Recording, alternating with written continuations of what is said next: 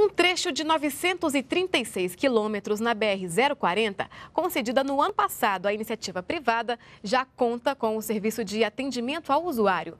Motoristas e passageiros que passam por lá já têm à disposição 24 horas por dia serviços de socorro mecânico e atendimento médico de emergência. O benefício é uma das obrigações que a empresa tem que cumprir antes de começar a cobrar o pedágio. Pega a BR-040 entre as cidades de Brasília e Juiz de Fora, em Minas Gerais, vai encontrar agora essas casinhas amarelas, onde funciona o posto de atendimento aos viajantes. Esses locais oferecem diversos serviços. Aqui, o motorista pode parar para usar banheiros e fraldário e até mesmo buscar informações úteis para a viagem. Com esse computador aqui, o viajante pode acessar informações como telefones úteis, localização e onde estão os hotéis e hospitais mais próximos na região. E por meio deste botão aqui, ele fala diretamente com o serviço de atendimento ao cliente e pode pedir serviços de emergência médica ou mecânica e também informar sobre acidentes na pista. No total, são 21 postos como esse instalados ao longo dos 936 quilômetros da rodovia. Com o serviço de atendimento ao usuário já em operação, o viajante conta também com ambulâncias equipadas, guinchos, caminhões-pipa para combate de incêndios e veículos especiais para recolher animais na pista. Tudo é de graça e funciona 24 horas por dia, 7 dias por semana.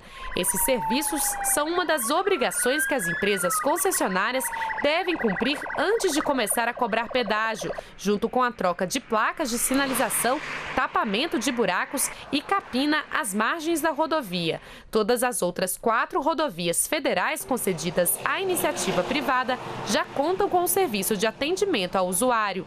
Antes de começarem a cobrar pedágio, as empresas também precisam duplicar pelo menos 10% do total das rodovias previstas em contrato. Todas começaram já esse atendimento e está na parte agora mais complexa da obra, que é a duplicação, né?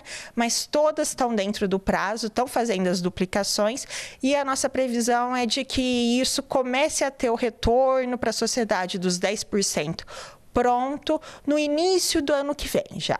Os serviços e as obras vão ajudar na redução de acidentes. Esses contratos de concessão, ele tem um mecanismo de redução de acidentes, de metas que as concessionárias têm que atingir.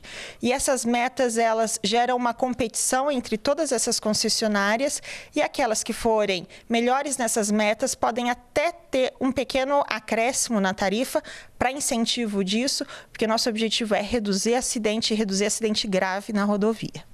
Quem passa pela BR-040 aprova os serviços. Isso é bom, né? É, ajuda a gente. É, igual a gente, eu, como eu trabalho para cá, o carro quebra muito e não tem, você não acha oficina, isso aí vai ser ótimo, muito bom para o pessoal, para a população, né? Acho que vai ajudar muito. De vez você está na estrada, o carro quebra, não tem como você ter socorro, né? Já aconteceu comigo. Aí é uma coisa, uma, mais uma, uma coisa boa, né, para a sociedade, né, para a comunidade. Em caso de dúvidas ou para solicitar atendimento, o viajante da BR-040 pode ligar para o telefone 0800 040 0040.